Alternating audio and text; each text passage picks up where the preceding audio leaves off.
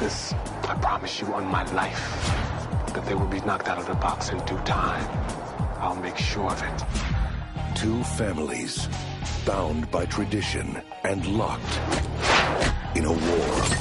These two guys with the machine guns, they start blasting off, well, none of y'all make it home. And one man. The old man didn't think you'd make it. And you? I knew you would. It's just a matter of time. Caught in the middle. Trisha, I can't have you hanging with Chu's boy. What the hell were you doing in there? We're in the middle of a damn war. Let me tell you something, okay? Whatever my father and Mac are into has nothing to do with me. In a world of vicious rivalries and violent betrayals, only one thing is certain. Sorry, Romeo. I'm taking your most valued asset. Romeo must die.